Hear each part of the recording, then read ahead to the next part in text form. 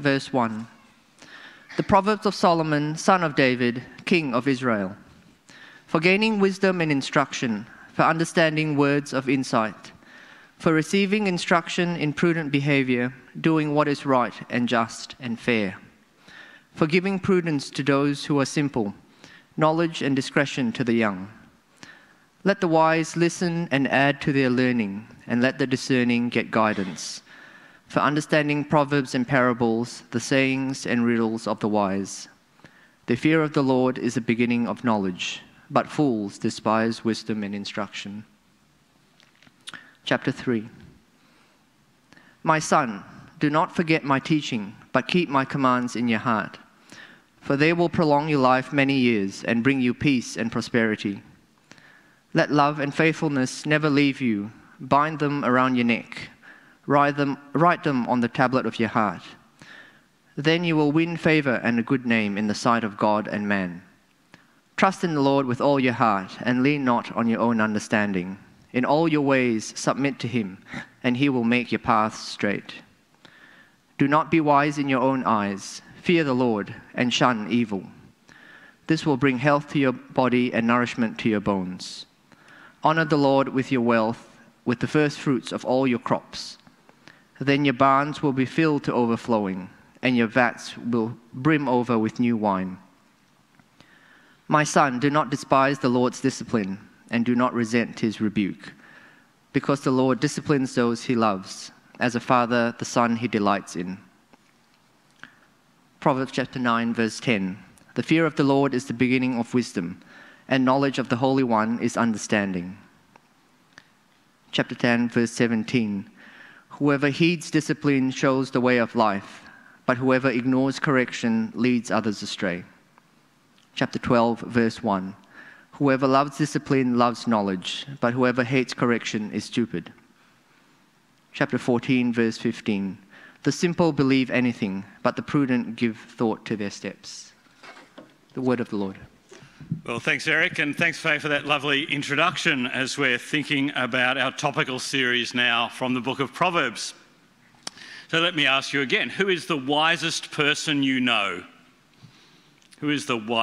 I know you're saying me, but like, who, who, who is the wisest person you know? Look, as someone who's done eight years of full time university study, I often think of an answer to that question based in academic terms. I re- remember one of my curate's wives had a doctorate from Oxford, and I thought, hmm, that was pretty impressive.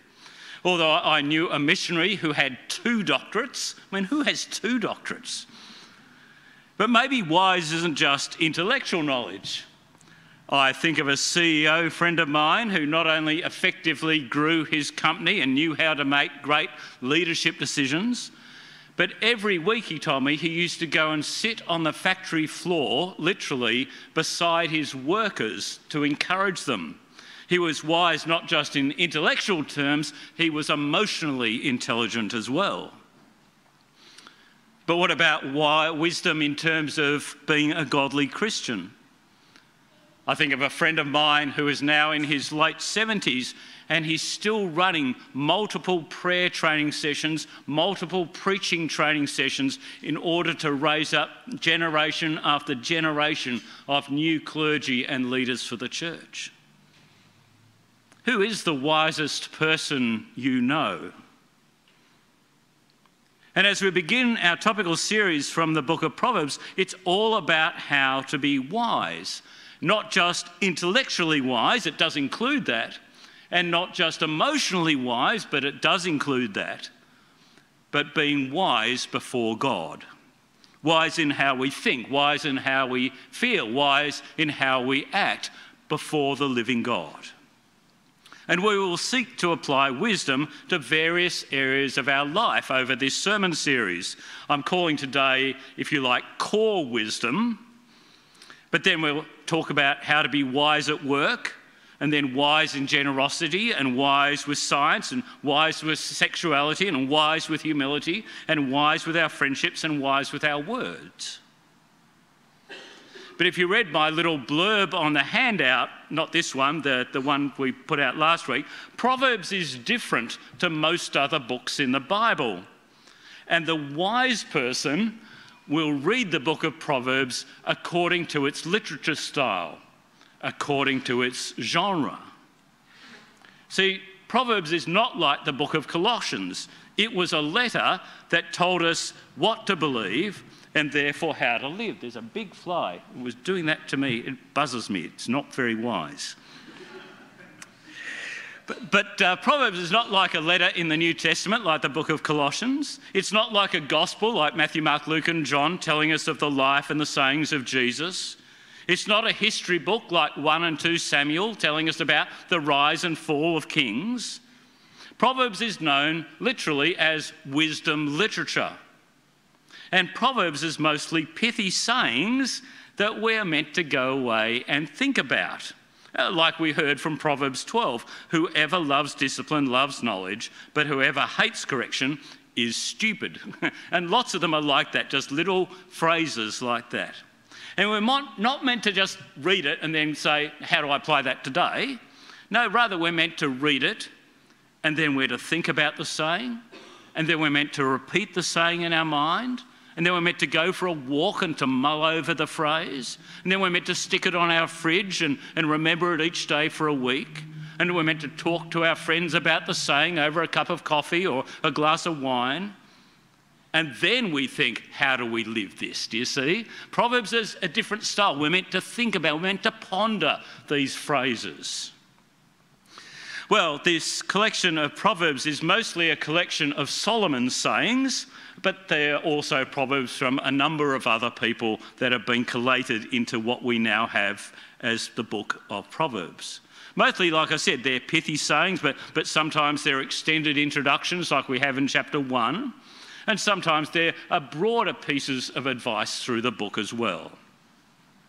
But today, core wisdom, as Faye has on her bookmark, the fear of the Lord the fear of the Lord, and accepting correction. When I was a music teacher many years ago, one of the challenges was gaining respect from the students. You know, I, I realised even way back then that respect was earned, not just given. Know, you hoped that with the status of being a teacher, somehow the kids would hang on your every word. It did not work like that, let me tell you. And with the myriad bits of wisdom in the book of Proverbs, there is one core idea, and we heard it in 1 7 the fear of the Lord is the beginning of knowledge. Or in chapter 9, verse 10, the fear of the Lord is the beginning of wisdom, and knowledge of the Holy One is understanding. And God expects our respect. Well, in fact, more than respect, the Proverbs uses this word fear now, little aside on the use of this word fear. Fear here does not mean terror or being frightened by God. I mean, it's true that God could like unmake us in a second. And if we believe any of the stories of the Bible, He is an absolutely awesome God. But the word fear, it has its sense in uh, reverent awe. Reverent awe, and our response is meant to be in submissive faith. I mean, this is an encounter with the Lord, capital L O R D, that is the covenant God of Israel, the redeeming God who saves his people, and we are to respond with what he reveals about himself. Like we heard in chapter 3, verse 5 trust in the Lord with all your heart, lean not on your own understanding, in all your ways submit to him, and he will make your paths straight. But again, let me pause there for just a minute and ask you a broader question, and that is why do you believe in God? Why do you believe in God? Because wisdom beginning with the fear of the Lord begs the question about whether we believe in God in the first place or not. I mean, if someone said to you over morning tea in just a minute, why do you believe in God? What would your answer be? Here are some of my answers, okay? Number one, there must be someone behind the existence of the known universe. That is, there must be, as they say in philosophical terms, an uncaused cause. There must be someone who had to start it. Take, for instance, all the things in this room, in this church building. All of them were made by something outside of themselves. The organ was made by someone else, somewhere else. The Bibles were made somewhere else. The chairs were made by someone else. You were made somewhere else. Together, all of these things in this room were made by something outside of this room. Now, imagine all the things in the universe you know, all the planets, all the stars, all the black holes, all the galaxies, all of it. Logically, something outside of the universe must have made it, must have caused it to begin. Oh, whether by Big Bang or some other way, I'm not particularly fast, but there must be a God behind the existence of this universe. It's reason one. Here's reason two why I believe in God there must be someone behind the order of this universe. You know, the way the earth goes around the sun, tilted just right on its axis. But not just big things like that, little tiny things as well. You know, I love doing biology at school and realizing that a single cell in our body is made up of this like myriad of things. You know, it's not just a nucleus, there, there's mitochondria and cilia and microtubules, if I can remember my biology from year 12. And, and then things like mitochondria by themselves are made up of like DNA and ribosomes. And DNA is made up of like 3 billion bases and, and so on. And yet, all these tiny, tiny, tiny bits of things work together so that a single cell functions in your body. And then all those other single cells function so that this whole body can finally work. I cannot, I cannot believe that the immense complexity of the human body, let alone the universe, is simply a fluke. The design tells me that there must be a God behind it. Reason number three there must be someone behind the beauty of the universe. Like Romans says, since the creation of the world, God's invisible qualities, his eternal power and divine nature have been clearly seen, being understood from what has been made. You know, when I see the beauty of the stars, or the beauty of a sunset over Black Rock, or, or the beauty of a piece of art, or the beauty of one of our cat's movements as it runs down the corridor, or when I hear a beautiful piece of music, I think, where did that beauty come from? But why is there such a thing as beauty? I know, because there must be a God. Number four, but of course, there is a much more direct piece of evidence for God. Uh, that is, if we have eyes to see and ears to hear. Because Jesus Christ came to earth and in his words and actions, he demonstrates that there is a God. In fact, he demonstrates that he is God. Because God has not just left us to philosophize about his existence, he has come down and revealed himself to us through the history of the scriptures, through creation and the people of Israel and the coming of the law and the prophets, and then finally through the coming of his son, Jesus Christ, in his incarnation and his life and his death and his resurrection and ascension and the promise of a new creation one day. God revealing the truth about himself to us. Worth believing in.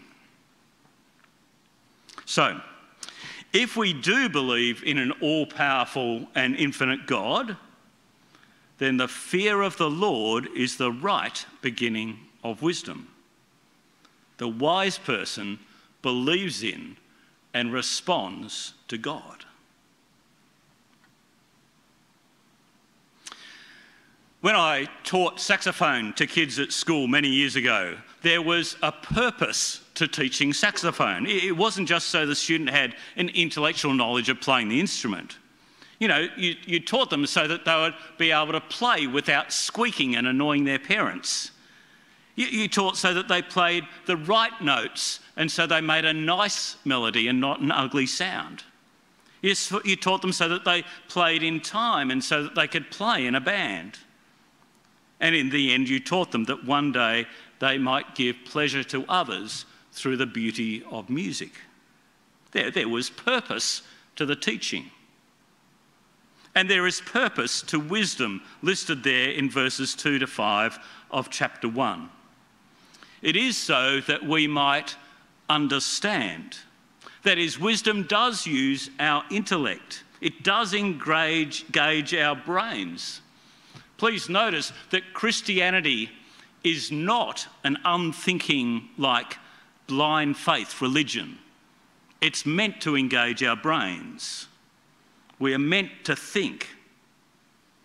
And that understanding then leads to insight so that we can see rightly. And that insight leads to right behaviour, to prudent behaviour. And that behaviour leads to doing what is right and just and fair. So that we in the church and we in our society might have like justice tempered with mercy. And that wisdom is meant to lead us to maturity. So, wisdom in Proverbs is often for the young, but it's also for anyone who wants to be wise and we pay attention to wise sayings so that we might understand and learn and see and change and thus do what is right. There is a purpose to wisdom. It's not just for academic knowledge, it is for that, but it's also that we might live rightly before God and thus in turn bring good to this world that we live in like we saw actually in the book of Colossians, the amazing understanding of all that Christ is and said and did was meant to change us both personally and at home and even at work and actually in society as well. Wisdom has a purpose. Now, as you teach saxophone, you don't just get the student to play the piece of music there is a whole method to teaching saxophone as well. You teach scales and arpeggios so that your fingers glide over the piece, pieces, phrases, and, and, and sounds easier and quicker. You practice holding long notes. I often, I often practiced holding notes as long as I could. I could get up to about a minute because uh, you, you needed to do that to try and get a smooth and even pitch and sound. And you simply have to practice hours a day so that you have stamina in your lips and in your cheeks and in your fingers to be able to get through the pieces so that you can play the concert in the end. And you have to play with other people so that you can match their pitch and their tempo and their bounce and their volume and their dynamics. That is, there is a method to teaching. And likewise, there is a method to wisdom, to being wise. You see that in chapter 1, verses 5 and 6. The wise listen. The wise listen. Wise people know how to listen. You know, I like that saying we've got two ears and one mouth, so listen twice as much as you speak. You cannot be wise without being willing to listen. And that listening will mean we add to our learning. And that learning will lead to discernment and so guidance for life, which in turn will lead to true understanding. Or chapter 3 began My son, do not forget my teaching, but keep my commands in your heart. That is, in terms of method, we need reminders so that we do not forget the teaching. You know, you don't just play a piece of music once and go and perform it. No, most of us need to go over and over it again so that we get it right, so that we remember it. It's the same thing with learning wisdom about God. Actually, you know, I think it's a strength of the liturgy of the Anglican Church that sometimes we go over the core things like the commandments or like the creeds time and time again so we do not forget the teaching. In fact, Proverbs 3 3 says, let love and faithfulness never leave you. Bind them around your neck. Write them on the tablet of your heart. That is, do whatever it takes to remember love and faithfulness. Actually, reminds me of Deuteronomy 6, where the people are literally to tie physical reminders of the commandments on their person, just as some Orthodox Jewish people still do today. You could do something like that, actually.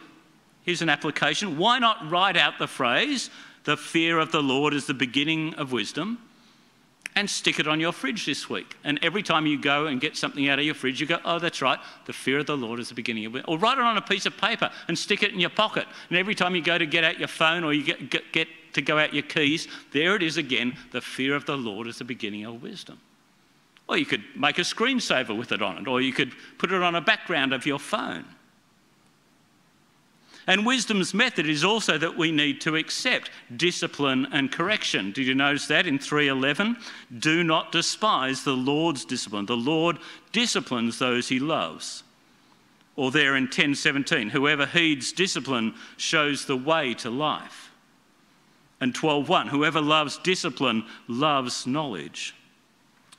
Not much point in teaching a kid saxophone if they won't accept any correction.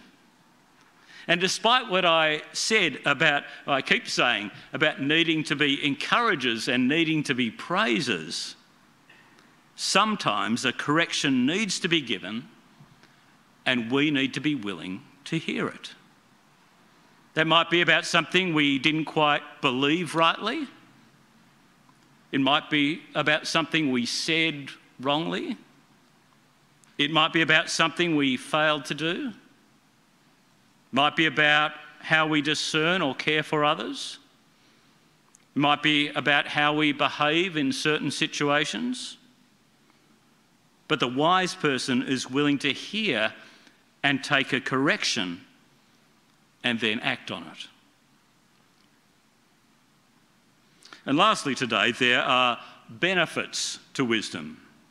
Like I said, there are benefits to being able to play the saxophone. I, I actually love being able to play for other people.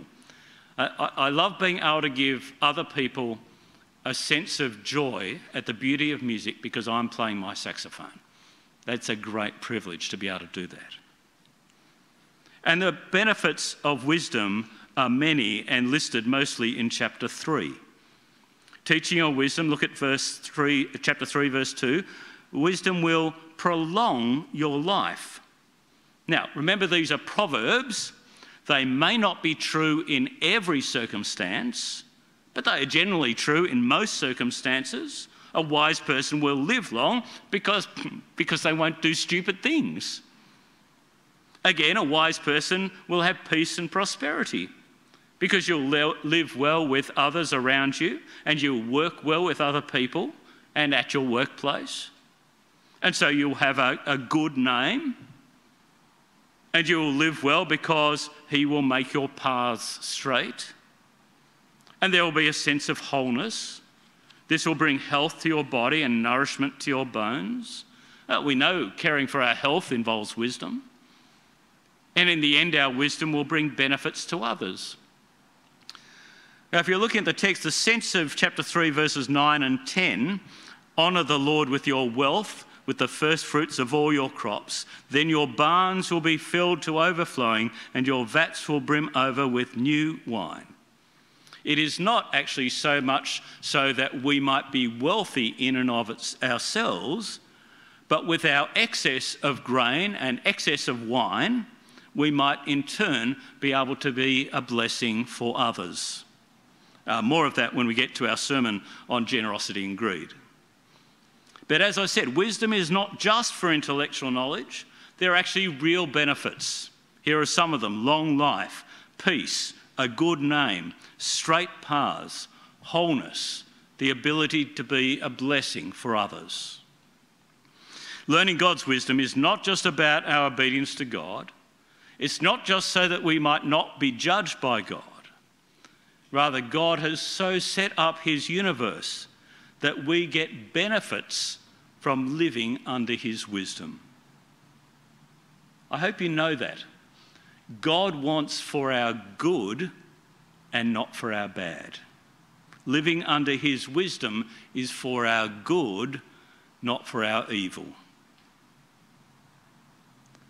Well, at the end of this sermon, my encouragement is to take just one of these sayings from these chapters and reflect on it, mull over it, go for a walk and remember it, and then think, how this week will I respond to our awesome God?